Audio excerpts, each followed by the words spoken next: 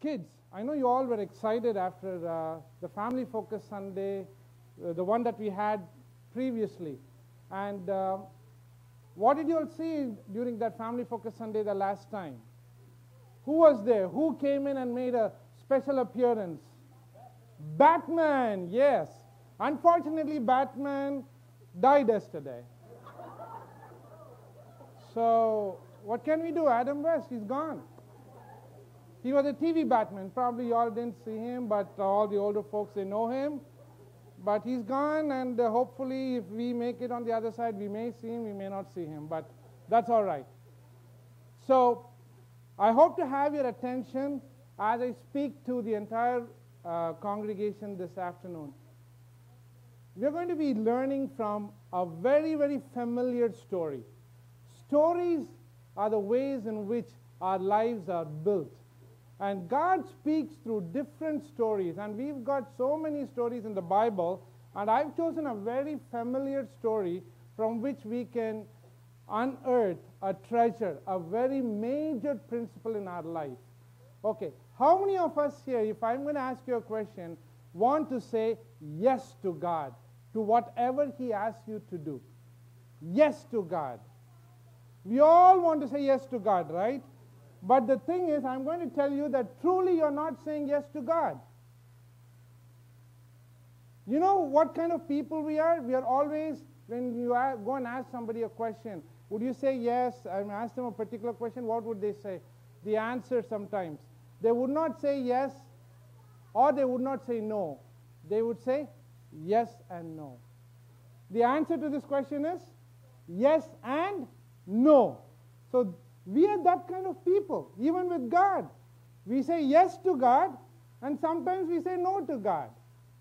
And even to other people. We are the yes and no people. But there is this young man in the Bible who said, when he said yes to God, he said no to many other things.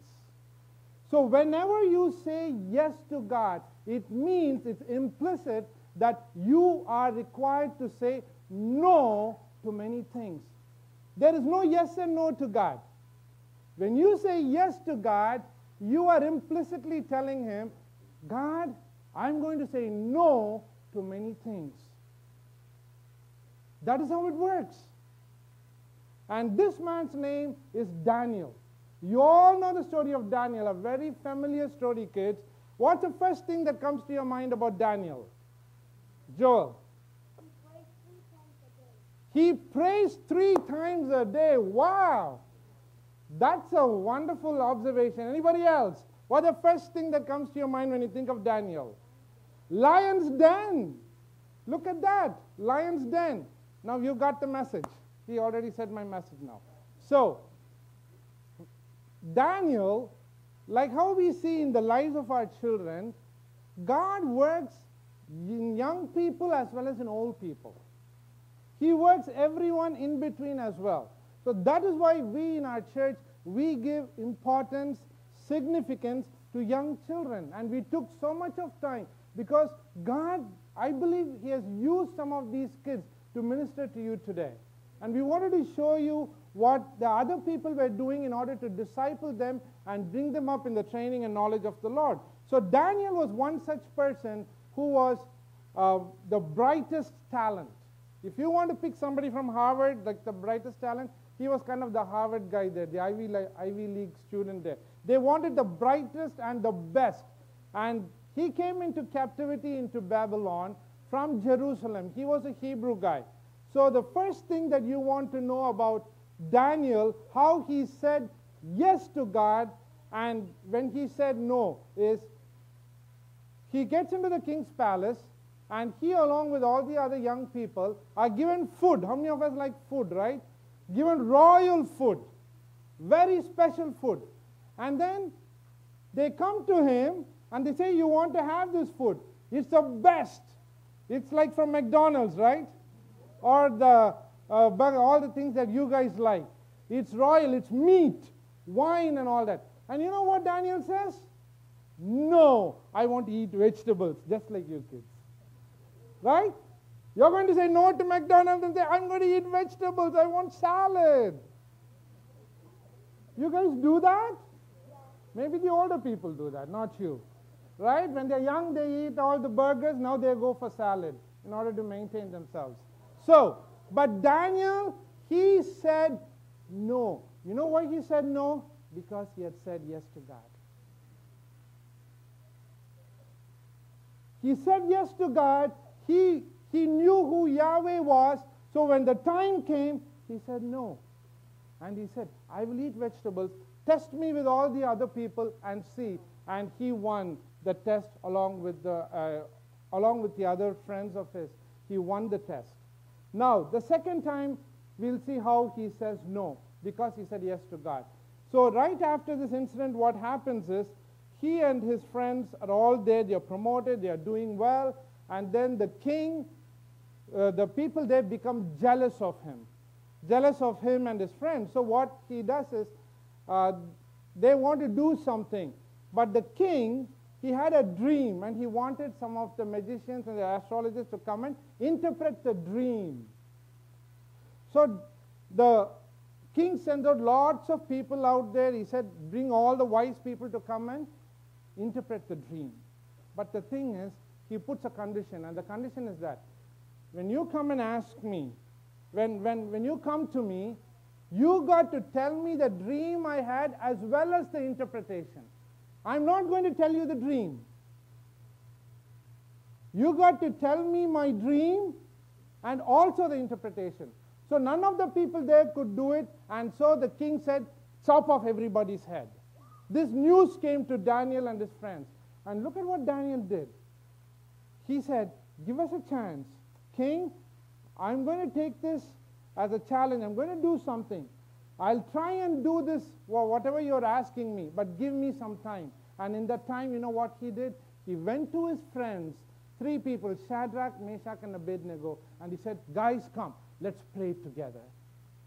Let's pray together. This revealer of mysteries, God, He is going to reveal things to us so that I can go and save our lives.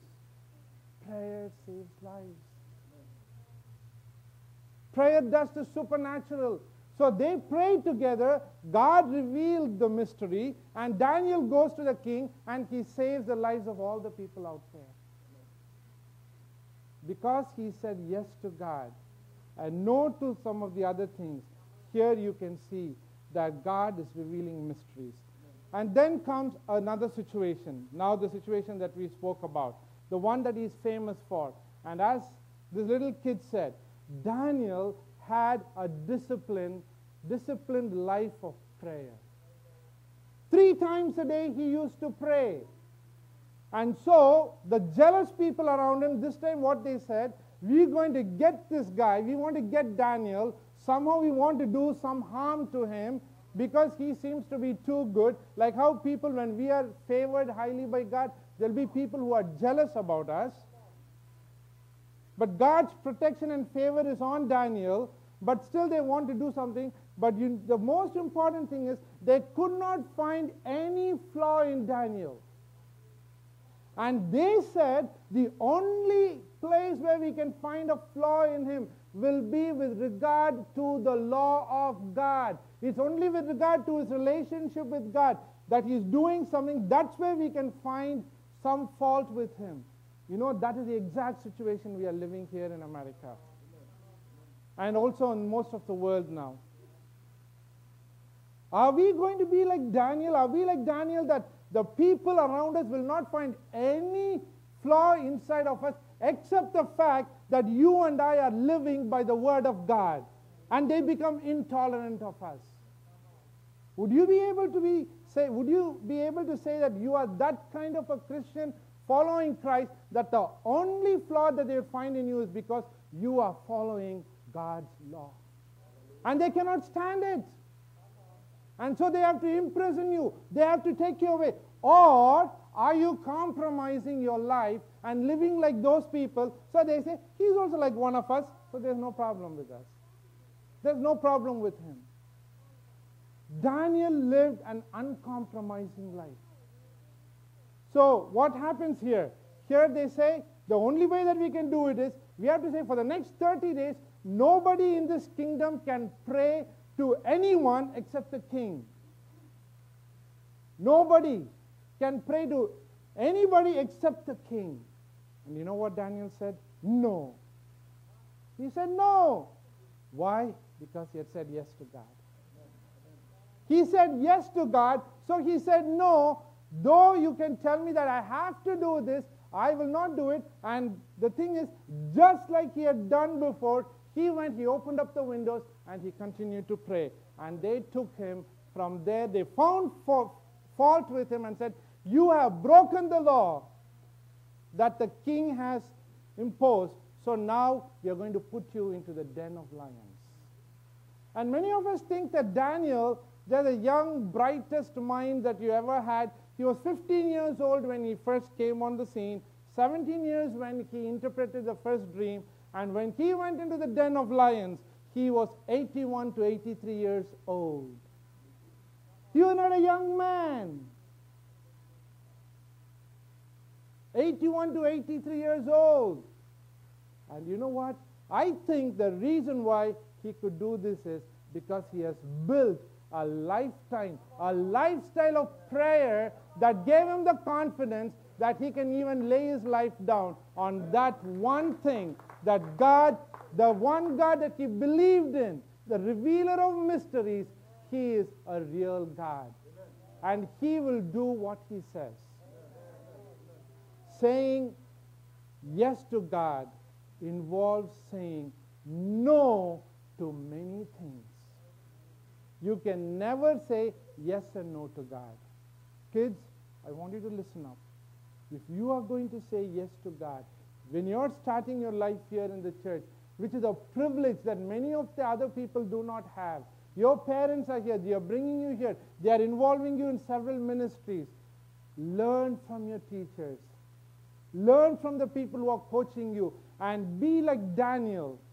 Build a lifetime of prayer and say yes to God so that when the time comes, you will say no to all the other things that are not in line with God's will.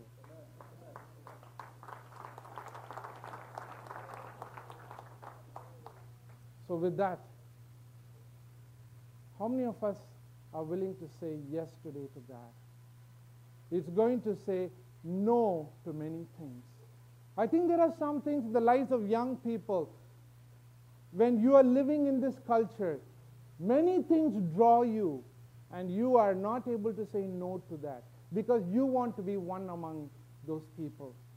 But Daniel stood out from the crowd. Daniel was not one among the crowd, he stood out from the crowd because he believed in Yahweh. And the only fault that they could find in him is because he lived, again, he lived according to the principles of God's word, the God that he knew. Would we be found guilty of living according to the principles of God's word? That is our challenge today. Would you pray with me?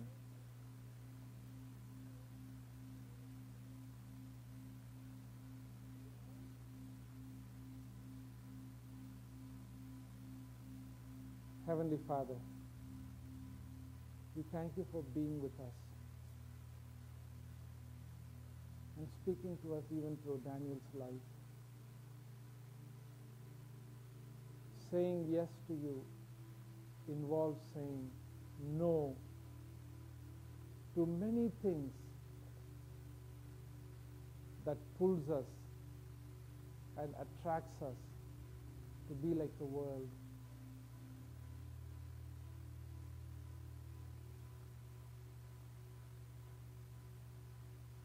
Would you speak those areas in the lives that your people will have to say no?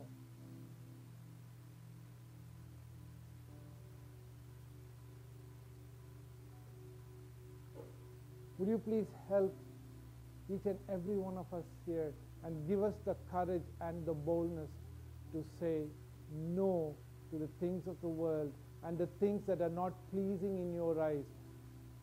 And we can completely and totally say yes to you and you alone, Lord. Let there be many Daniels built up here many, many Daniels from this young generation. We thank you and we praise you for this example that you have given us. Help each and every one of us to build a lifestyle of prayer, that we will have the confidence that Daniel had when even, even when he was 80 plus years old, to go into the den of lions